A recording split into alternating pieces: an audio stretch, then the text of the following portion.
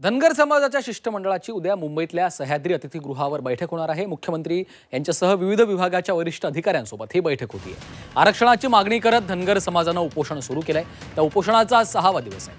आज मंत्री चंद्रकांत पाटील आणि शंभूराज देसाई यांनी आंदोलकांची भेट घेतलेली आहे आणि त्यांच्याशी चर्चाही केली. यावेळी आंदोलकांनी मागण्या मान्य न झाल्यास चंद्रभागा समर्पणाचा इशाराही दिलाय.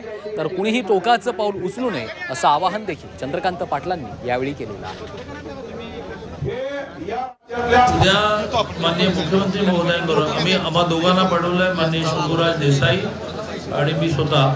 आम्ही दोघांनी मिळून लगेच मुख्यमंत्र्यांशी बोलून उद्या दुपारची बैठकीची वेळ ठरवली आहे ज्याला सुट्टी असूनही ॲडव्होकेट जनरल सहित सगळेजण उपस्थित राहतील.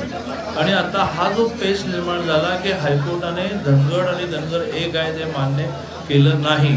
तर आता पुढे धनगर आणि धनगर केस नाही प्लीज जरा जरा ऐका ना ते सोडू दे ना तुम्ही बोल द्यायची भावना उद्या हो तुमची भावना तुम्ही बोला